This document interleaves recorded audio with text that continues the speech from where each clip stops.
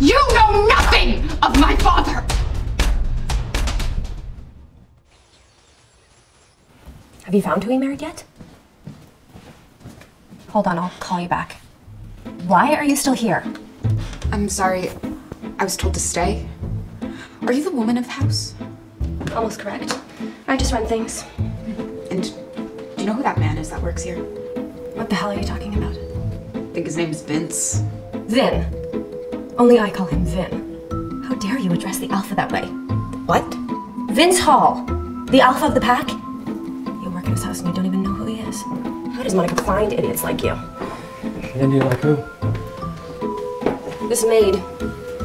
She should be fired. I'll think about it.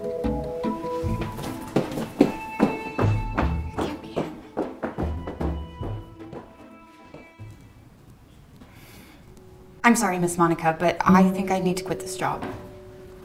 You want to leave? Sure. But I didn't fire you. Quitting without notice breaks your employment contract and carries a hefty penalty.